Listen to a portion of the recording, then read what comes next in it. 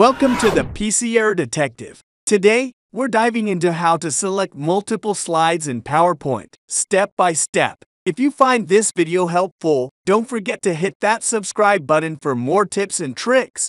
Step 1. Begin by opening your PowerPoint presentation to see all your slides.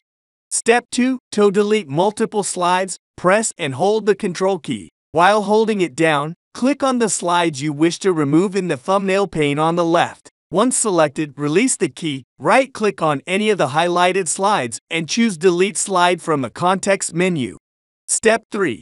If you need to duplicate multiple slides, right-click on the slide thumbnail you want to copy in the thumbnail pane. Then, select Duplicate Slide. The new duplicate will appear right after the original slide.